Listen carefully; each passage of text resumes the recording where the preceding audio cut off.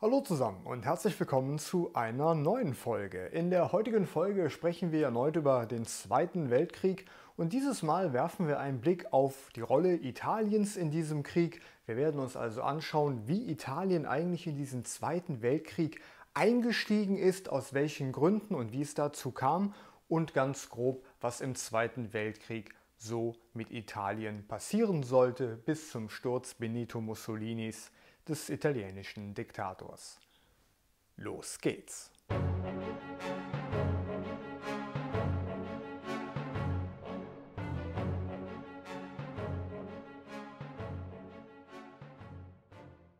Als Italien am 10. Juni 1940 in den Zweiten Weltkrieg an der Seite der Deutschen eintrat, war das keine Selbstverständlichkeit gewesen. Denn die Gründe für Mussolini, Italien nun in diesen Zweiten Weltkrieg zu führen, waren vielseitig gewesen. Auf der einen Seite ging es hier sicherlich um einen Profilierungswillen Mussolinis, denn Mussolini hatte jahrelang mittlerweile im Schatten Hitlers gestanden, war von dem Seniorpartner, der er ursprünglich mal gewesen war, von Hitler zu einem Juniorpartner degradiert worden und das hatte an Mussolinis Selbstbewusstsein enorm gekratzt und insofern wollte Mussolini jetzt hier auf dem Schlachtfeld im Zweiten Weltkrieg zeigen, dass Italien eben nicht nur der kleine Partner der Deutschen ist, sondern eine eigenständige militärische imperiale Macht, die eigene Kriegsziele verfolgt und diese umzusetzen in der Lage sei. Zudem schien natürlich auch der Zeitpunkt für einen Einstieg in diesen Zweiten Weltkrieg Mitte 1940 strategisch gut zu sein. Denn das Deutsche Reich hatte enorme Erfolge vorweisen können in den ersten Kriegsmonaten.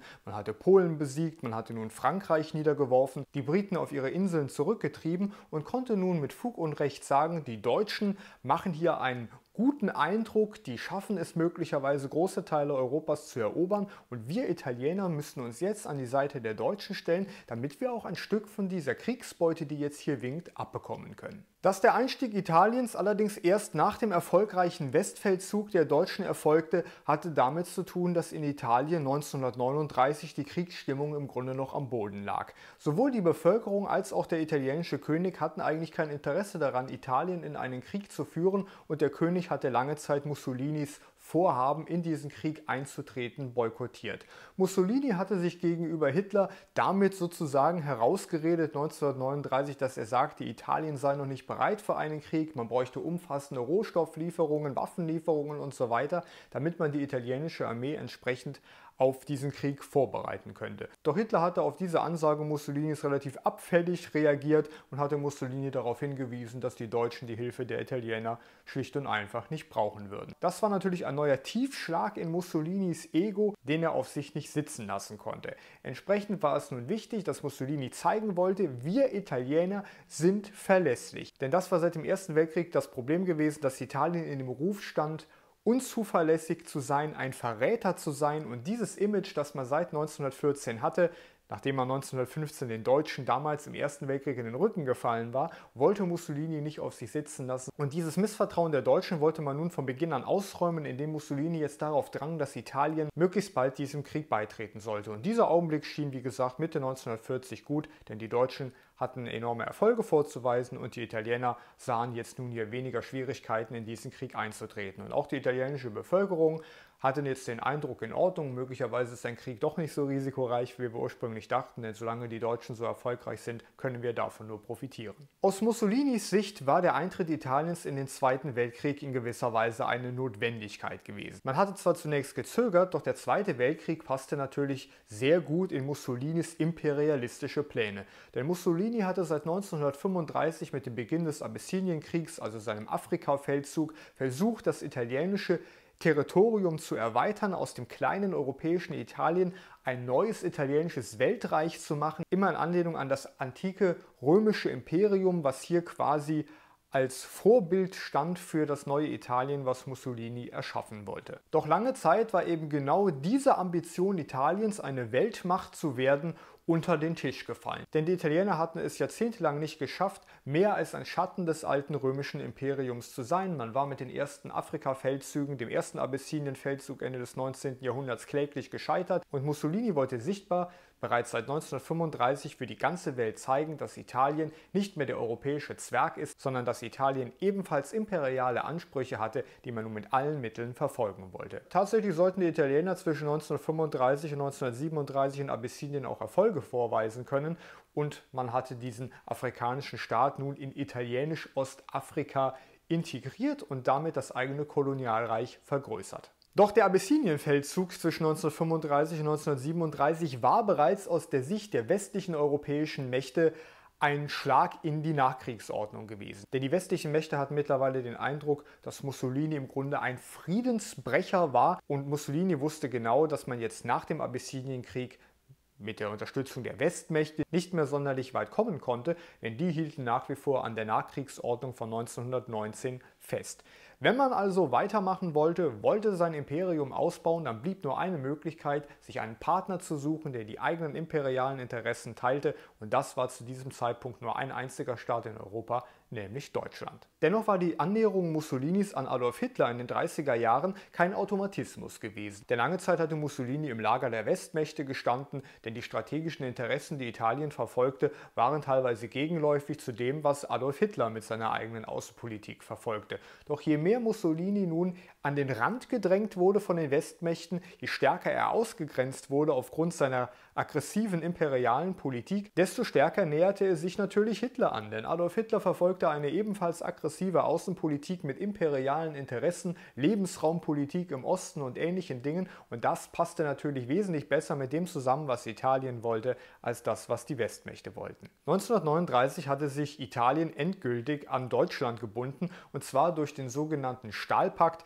den Hitler und Mussolini ausmachten. Dieser Stahlpakt sah vor, das sollte eine Partei Krieg führen, die andere Partei denjenigen unterstützen würde. Und das war für Hitler natürlich zunächst einmal interessant, denn Hitler begann schließlich 1939 den Zweiten Weltkrieg und hatte sich jetzt in gewisser Weise darauf verlassen, dass die Italiener eben hier einspringen würden. Doch Mussolini hatte, wie gesagt, monatelang gezögert, sollte dann aber in diesen Krieg eintreten und an der Seite Deutschlands bis 1943 zumindest kämpfen. Noch bevor Adolf Hitler im September 1939 den Angriff auf Polen befahl, hatte Mussolini aber selbst schon seine neue Aggressivität gezeigt. Denn Mussolini hatte über die Jahre immer wieder darunter gelitten, dass er nun im Schatten Hitlers stand und versuchte nun mit außenpolitischen Erfolgen gegenüber der eigenen Bevölkerung zu verkaufen, wir sind eine eigenständige Größe und eine eigenständige Macht mit eigenen Ambitionen. Das führte dazu, dass Mussolini sich von seinem Schwiegersohn und Außenminister breitschlagen ließ in einem Handstrich, Albanien zu erobern, das Königreich Albanien, ein Land, das ohnehin schon stark durch Italien beeinflusst worden war. Und das war natürlich ein erneuter Schritt gegen die Westmächte, um zu zeigen, ich Mussolini mache meine eigene Politik und ich lasse mich von euch nicht einschüchtern. Doch insgesamt sollte genau diese aggressive Außenpolitik Mussolinis, die häufig ohne Vorankündigung kam, für Hitler auf Dauer zu einem Problem werden. Denn Mussolini sollte im Laufe des Zweiten Weltkrieges immer wieder durch verschiedene militärische Eskapaden auffallen, die Adolf Hitler immer wieder enorme Nerven kosten sollten. Denn ständig hatte Hitler den Eindruck, hinter Mussolini aufräumen zu müssen. Das war in Nordafrika so, das war in Griechenland so und in allem, was noch so kommen sollte. Und insofern sollte Mussolini der Wehrmacht mehr Probleme bereiten, als er ihr mit seiner eigenen Armee helfen konnte. Das Ziel der italienischen imperialistischen Politik war von Anfang an orientiert am römischen Reich der Antike. Das bedeutete, dass Mussolini ein italienisches Großreich schaffen wollte, was sich um das Mittelmeer erstreckte, also von Europa bis Afrika. Doch das Problem war natürlich, dass nicht nur in Afrika, sondern auch auf den verschiedenen Inselgruppen, die im Mittelmeer lagen, bereits koloniale Mächte aktiv waren. In Nordafrika beispielsweise war gerade Ägypten britisch besetzt und das waren natürlich alles Gebiete, die für die Idee eines Mittelmeerimperiums für Mussolini interessant waren und deswegen spielte sich eben ein Großteil des italienischen Krieges in Südosteuropa und in Afrika ab. Nachdem Mussolini Hitler beim Polenfeldzug noch alleine gelassen hatte, sollte Italien jetzt Mitte 1940 in den Krieg eintreten. Doch von Anfang an war der Zweite Weltkrieg für Italien ein riesiges Problem gewesen und die Italiener hatten hier bereits schon am Anfang des Krieges gezeigt, wie schwach sie eigentlich waren. Denn die Italiener hatten sich gedacht, na gut, nach dem Ende des Westfeldzugs, die Franzosen waren so gut wie in die Knie gezwungen, können wir jetzt versuchen, auch nochmal bei den Franzosen nachzutreten und uns dann da ein Stück der Kriegsbeute rauszuholen und tatsächlich wurden wurden die italienischen Truppen bereits von den französischen Reserveeinheiten, die man noch zur Verfügung hatte, in die Knie gezwungen, womit man direkt schon sehen konnte, dass die Italiener offenbar militärisch nicht so viel in der Lage waren. Und das sollte sich auch durch den ganzen Krieg bis 1943 und dann weiter bis 1945 zeigen, dass Italien bei den verschiedenen Feldzügen in Griechenland,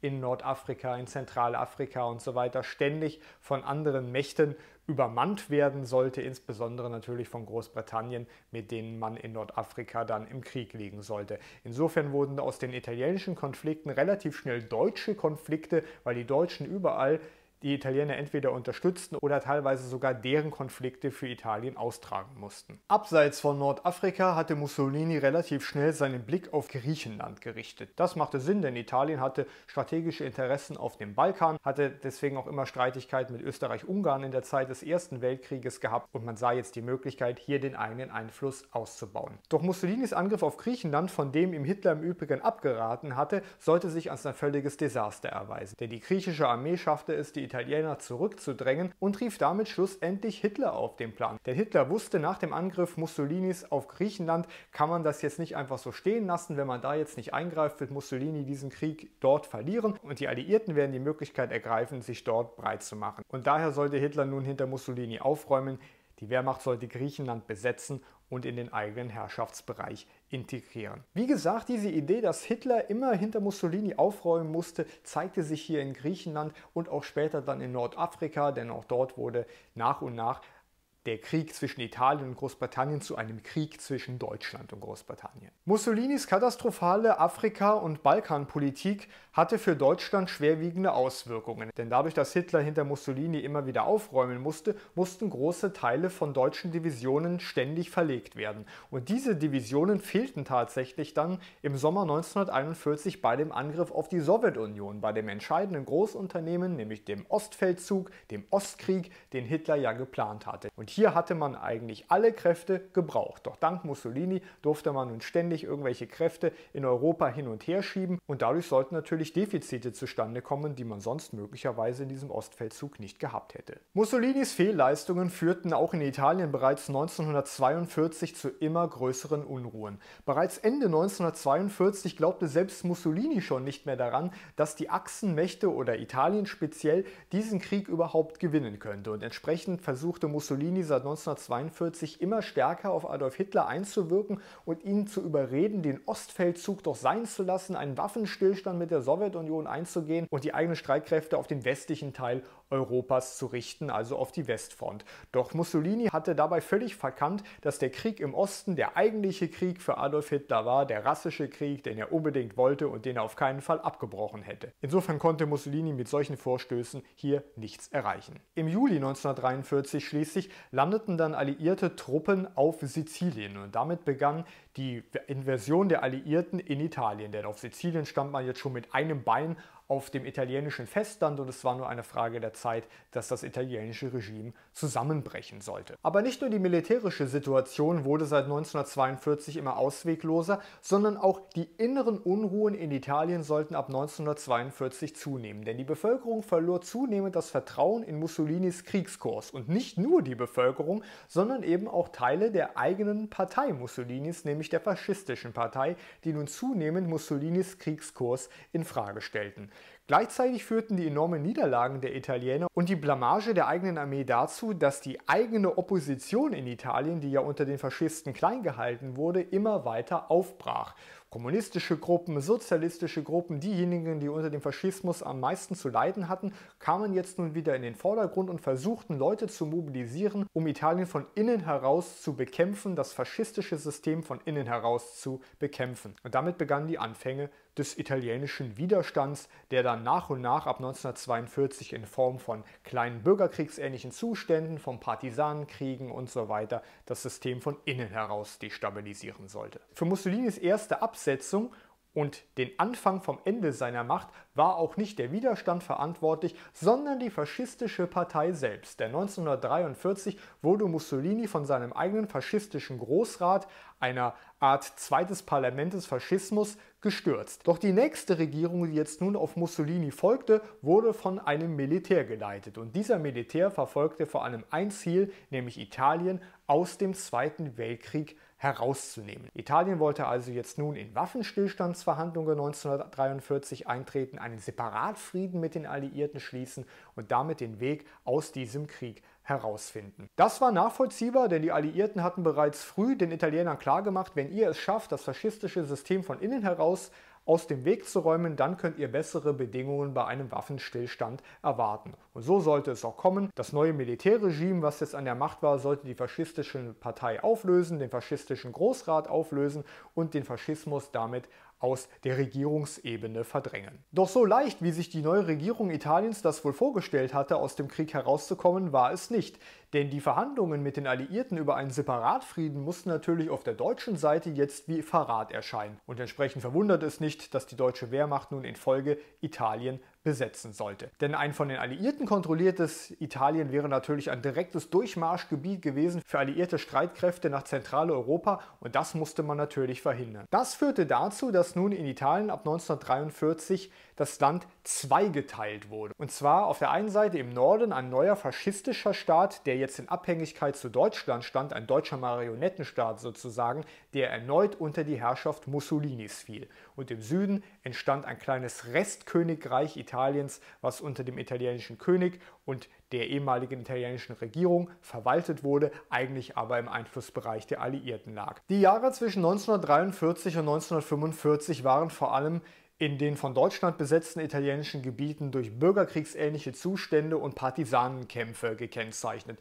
Denn der italienische Widerstand hatte sich mittlerweile militarisiert und versuchte bei jeder Gelegenheit der Wehrmacht das Leben schwer zu machen. Doch je stärker der Widerstand natürlich militärisch gegen die Besatzungsmacht vorging, desto stärker und energischer reagierte die Wehrmacht darauf, teilweise eben auch mit brutalsten Verbrechen. Die Jahre zwischen 1943 und 1945 waren in den von Deutschland kontrollierten kontrollierten italienischen Gebieten, also in dieser nördlichen Republik, allerdings noch in anderer Hinsicht einschneidend gewesen. Denn lange Zeit war es ja so gewesen, dass Italien, was den Antisemitismus betraf, einen wesentlich gemäßigteren Kurs gefahren hatte als das Deutsche Reich. Mussolini war zwar durch und durch ein Rassist gewesen und viele spricht dafür, dass er auch ein Antisemit war, aber eine radikale Judenpolitik in dem Sinne, dass man eine Volksgruppe jetzt nun ermordete, wie das eben im Dritten Reich passierte mit dem Holocaust, sowas hatte es in Italien nicht gegeben. Doch 1943 mit der Übernahme der Macht durch die Deutschen sollte natürlich auch die SS jetzt in Italien aktiv werden. Und dort, wo die SS aktiv wurde, wurden natürlich auch Juden Juden verfolgt. Und so kam es dazu, dass zwischen 1943 und 1945 auch in Italien tausende Juden zusammengetrieben wurden, deportiert wurden, in Vernichtungslager und dort umgebracht wurden. Allerdings hatten auch viele italienische Juden durchaus Glück, denn Teile der italienischen Bevölkerung und auch die Kirche in Italien versuchten mehr und mehr die Juden vor diesem Schicksal zu bewahren, versteckten sie und konnten damit zahlreiche Leben retten. Im April 1945 schließlich sollte der deutsche Widerstand in Italien zusammenbrechen. Die Wehrmachtseinheiten in Italien kapitulierten und damit sollten die Alliierten weiter in Italien vorrücken können. Im Zuge des Zusammenbruchs der Wehrmacht in Italien sollte natürlich auch nun die von den Deutschen kontrollierte nördliche Republik unter Mussolini zusammenbrechen.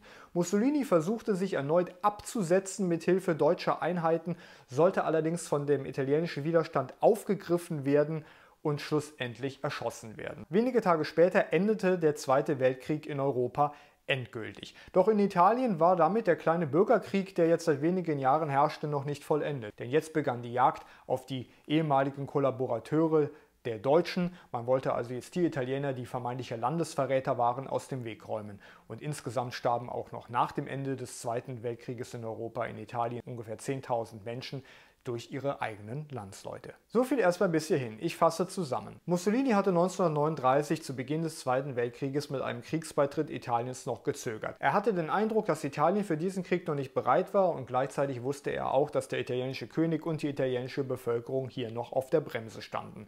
Doch nach dem erfolgreichen Westfeldzug der Deutschen Mitte 1940 war für Mussolini klar, mit den Deutschen können wir es weit bringen, wir müssen jetzt in den Krieg einsteigen, zum einen um etwas von der Kriegsbeute abzubekommen und zum anderen, dass wir nicht schon wieder dem Vorwurf ausgesetzt sind, dass wir Verräter seien, dass wir unzuverlässig seien, so wie der Ruf Italiens eben im Ersten Weltkrieg gewesen war. Doch Mussolinis Feldzüge sollten sich als eine Katastrophe erweisen. Seine Afrika-Abenteuer, aber auch seine Abenteuer in Südosteuropa sollten sich als gescheiterte Unternehmen erweisen, bei denen Hitler immer wieder mit der Wehrmacht intervenieren musste, um eine Niederlage Italiens zu verhindern. Und gleichzeitig musste Hitler eben große Truppenkontingente bereitstellen, die ihm dann schlussendlich 1941 beim Feldzug im Osten fehlen sollten. Insofern war der Zweite Weltkrieg stark davon gekennzeichnet, dass Deutschland hier teilweise stellvertretend für Italien Kriege führen musste und dadurch eben militärische Schauplätze entstanden, die Hitler eigentlich gerne vermieden hätte. Seit 1942 führte wachsender innerer Widerstand und das Wiederaufflammen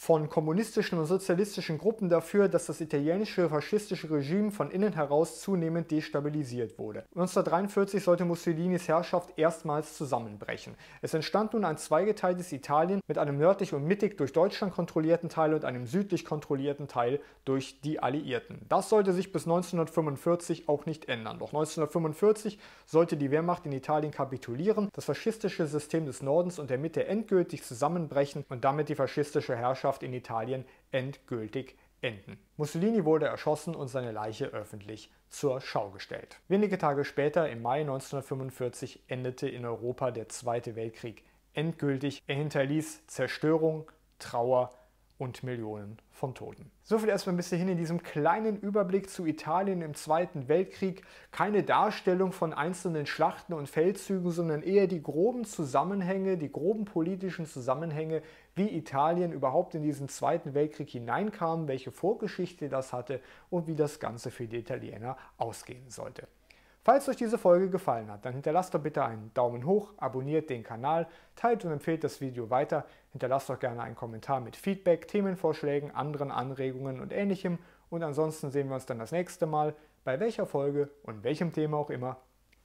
Macht's gut!